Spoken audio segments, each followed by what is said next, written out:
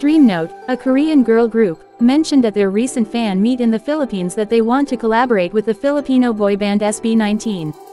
They also mentioned the popular dance song SB19 Gento. Here's the video.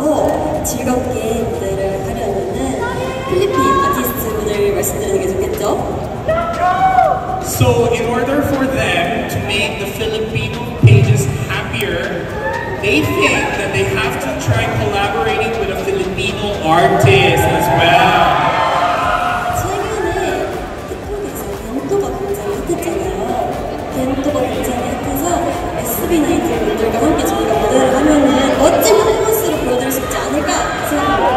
So obviously you guys all know the recent trending song Gento by SB19. But they think they'll be able to show you guys an amazing performance if they collaborated with SB19 for you guys. So, do you guys agree with